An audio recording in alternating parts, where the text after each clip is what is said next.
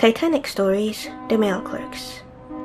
The Titanic does not only carry passengers, but it even carried a substantial amount of cargo. This includes the mail. As the ship has the RMS title to it, which means the Royal Mail Ship, it was carrying mail for the Royal Mail from UK and mail from the United States Post Office Department. Thus, it was an ocean liner for the transport of transatlantic passengers and mail service between Southampton and New York. Now, in the ship, they had a room in the G deck dedicated for the storage of the letters called the mailroom.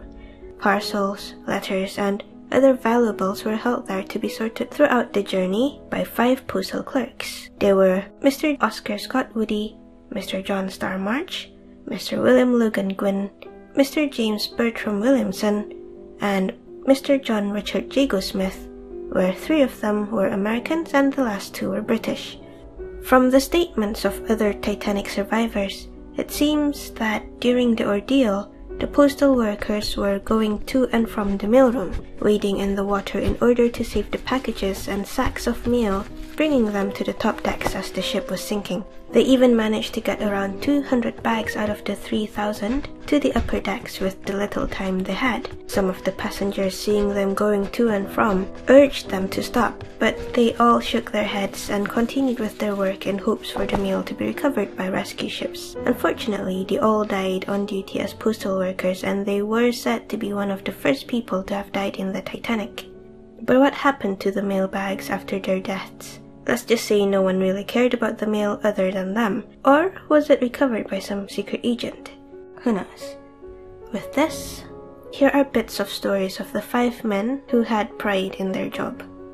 Mr. Oscar Scott Woody.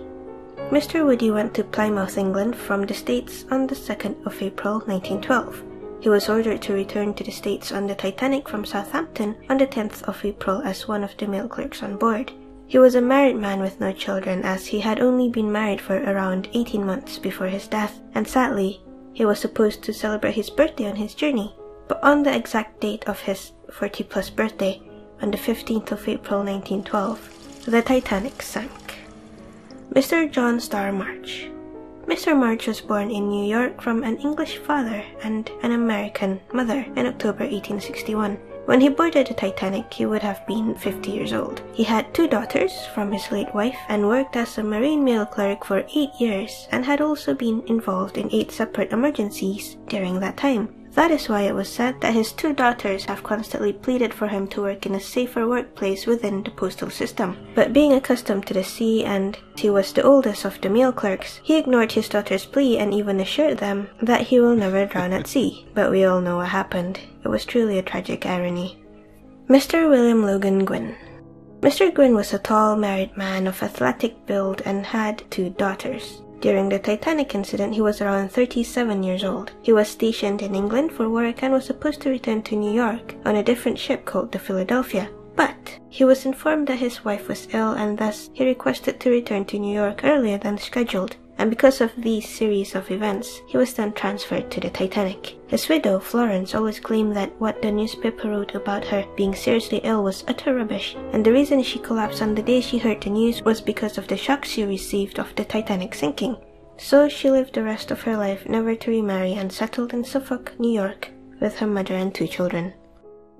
Mr. James Bertram Williamson Mr. Williamson was an Irishman who started his career with the post office around the year 1894 as a sorter at the General Post Office in Dublin, Ireland. Though the Titanic was on his first work as a marine mail clerk, but it was only in 1911 that he was transferred to Southampton.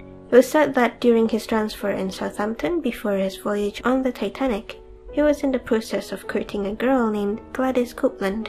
But seeing how he didn't survive the ordeal, he died a bachelor. Mr. John Richard Jago Smith. Mr. Smith was a bachelor and was born in 1877, so at the time of the tragedy he would be 35 years old. He became an employee of the post office in the early 1900s and had worked with the Sea Post Department on other vessels before. Titanic became his last voyage.